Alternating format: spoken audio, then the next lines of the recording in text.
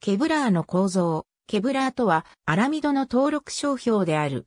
1965年に科学者でデュポン社に勤めていたステファニー・クオレクによって発明された。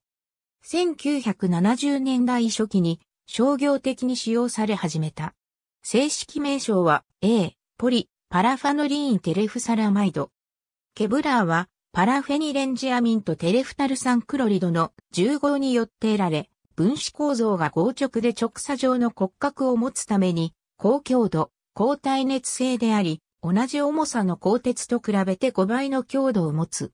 また、ケブラーは結晶性のポリマーであり、一般の有機溶媒に溶けず、溶融もしないために成形が困難なポリマーである。そのため、濃硫酸に溶解することで成形していることも大きな特徴である。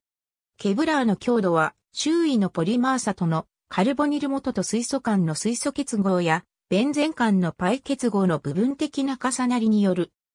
ケブラーにはケブラー、ケブラー29、ケブラー49の3種類があり、ケブラー49はすべてのアラミド繊維の中でも最高の引っ張り強度を持つと考えられており、繊維強化プラスチックの補強、船体、飛行機、自転車、ヨットの帆、特殊な用途では、ボディアーマーや防刃ベスト、ボンゴなどに使用されている。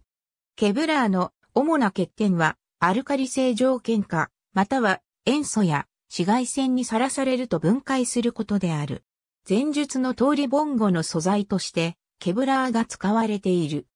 伝統的な木材では、サルサプレイヤーがボンゴを床に落としてプレイするスタイルや、地元のクラブや最大のアリーナやスタジアムでのプレイの厳しさに耐えられないため、LP 社がケブラーを使ったボンゴを製造している。LP 社はケブラーを鋼鉄の2倍の強度としている。